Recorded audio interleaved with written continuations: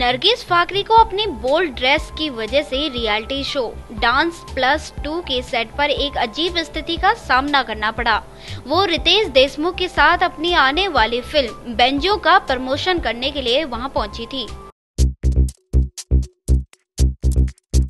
उन्होंने एक खूबसूरत सा गाउन पहना था, मगर बीच में एक सेक्सी कट था और इसी पर शो के प्रोडक्शन टीम ने आपत्ति जता दी। फैमिली शो होने की वजह से शुरुआत में प्रोडक्शन टीम के सदस्यों ने नरगिस को उस बोल्ड कट को कवर करने का अनुरोध किया।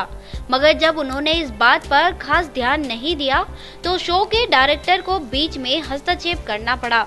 उन्हें स्पष्ट करना पड़ा कि वो इस तरह के की स्किन शो करने वाली ड्रेस के साथ सेट पर नहीं जा सकती।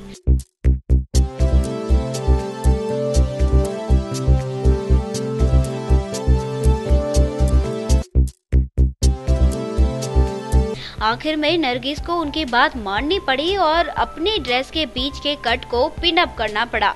Bureau report, Devbhoomi news.